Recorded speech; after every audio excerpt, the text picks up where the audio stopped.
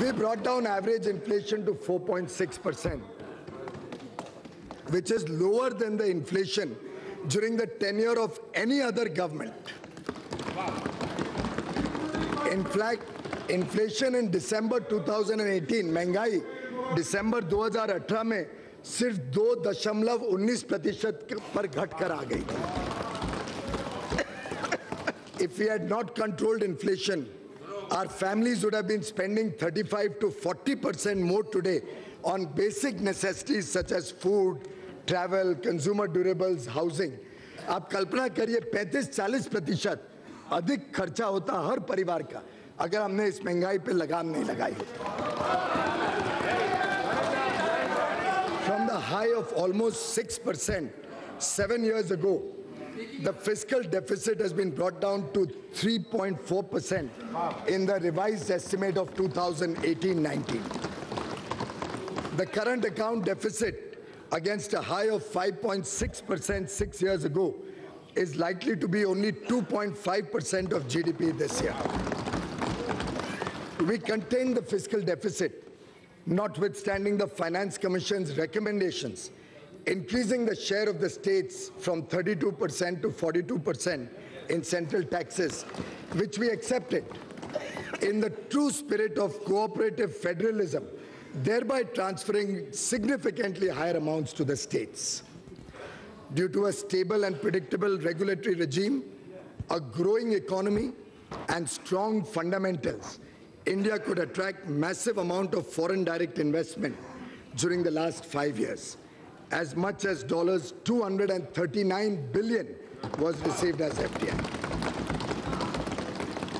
This period also witnessed a rapid liberalization of the FDI policy, allowing most FDI to come through the automatic route.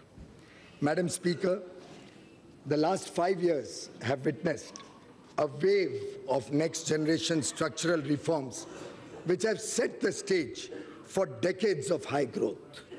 We have undertaken path breaking structural reforms by introducing the goods and services tax and other taxation reforms.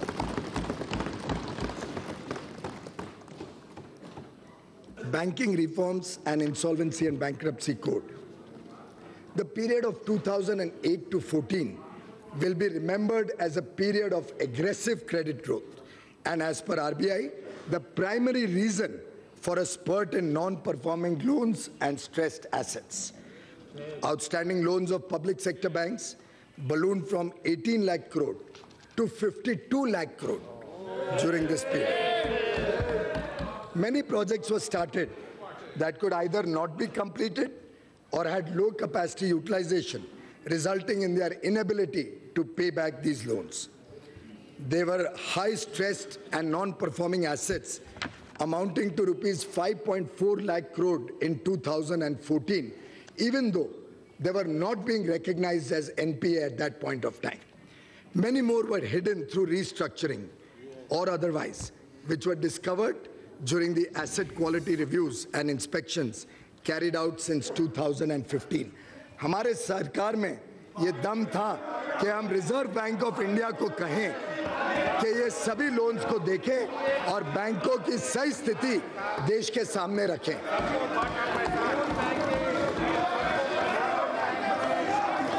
We put a stop to such questionable practices and stop the culture of phone banking.